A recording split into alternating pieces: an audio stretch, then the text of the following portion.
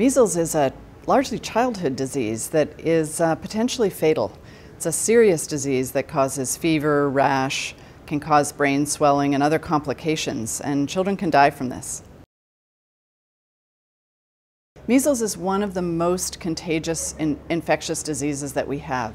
For every case of measles that occurs in a group of people who are not protected, about 12 to 18 more cases are going to happen.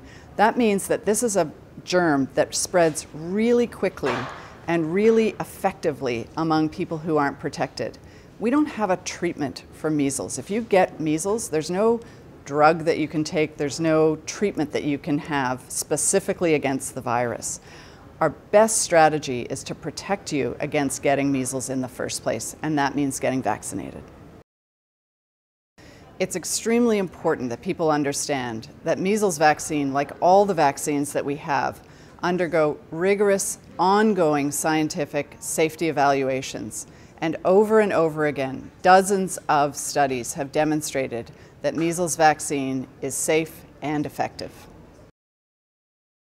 So what each of us as individuals can do, first of all, if you um, are the parent of a child, you should assure through looking at the documents that you have that your child has been vaccinated against measles. If your child hasn't been vaccinated against measles, talk to a trusted provider, a healthcare provider, and get your child vaccinated.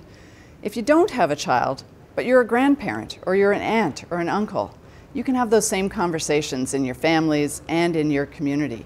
And if you're a person who actually works in a health unit or works in a government, you can be sure that you're doing your job to make sure that measles vaccine is getting to all of the kids and all of the community members who need it.